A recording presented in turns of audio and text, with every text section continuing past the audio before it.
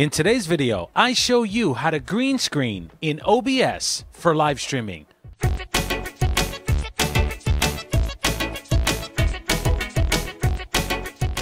So as you can see behind me, this is Unreal Tournament.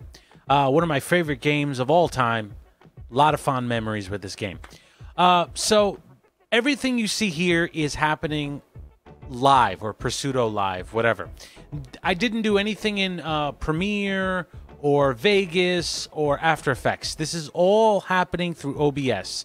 I do have a green screen, but I'm going to show you how to really customize it and get it just right. What's going on, guys? Uh, I'm going to preface this entire video by saying the specific settings you need to set are based upon your lighting conditions.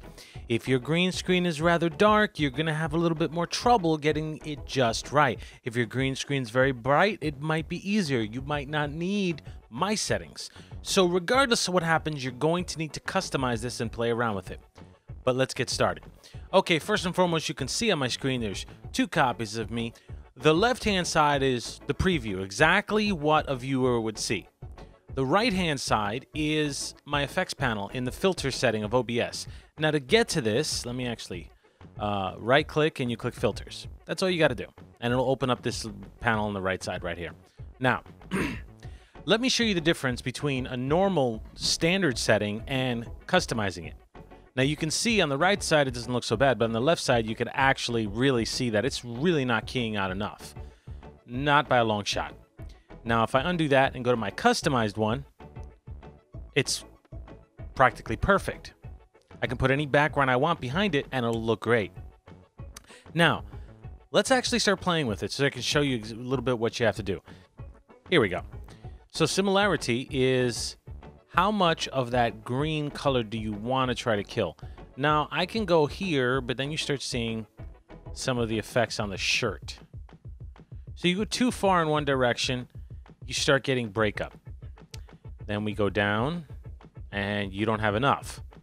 Now, what I found from my specific setup is um, the smoothness, as helpful as it is, it can cause issues. So I like to drop it low and try to get as clean of a result as I can without using smoothness. Now already you can see, holy crap, uh, right there, it's almost perfect.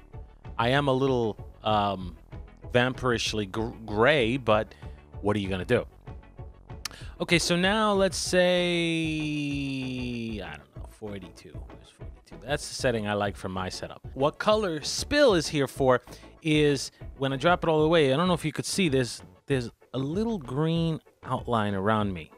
Now all color spill is going to try to do is detect green itself, mostly the outlines, but some of the main image too, as you can see how gray I get. Uh, and it's going to try to um, desaturate it. So at least you blend into backgrounds better and you don't have a, a glaringly obvious green outline.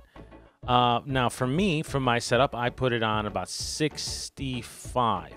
But again, as I said to start the video, you're going to have to customize it. Now you do have some other settings here, like contrast. But me, I go for zero.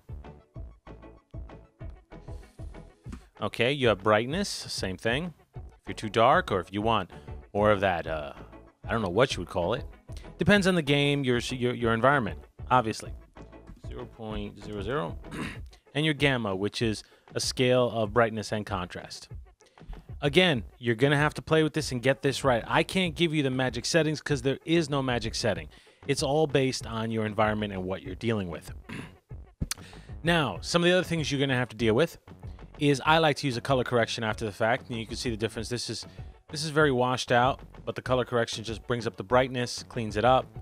And I'm just really all I'm doing is I'm lowering the brightness a little bit, raising the contrast and raising the the the, the, gamma. And then I add a crop because without the crop, you can actually see half of the room where the green screen is not covering. So I add the crop, and that, that cleans it right up. No problem. And the crop is fairly easy. You just go up and down, and, and it literally just chops off the edges. And that's pretty much it. I'm good to go. I can do a video, and it's not a problem. Uh, but, you know, as always, guys, hopefully this video has helped you. And please, as always, if you like what you see and you want more of these types of videos, do me a favor like, comment, and subscribe. And I'll see you next time.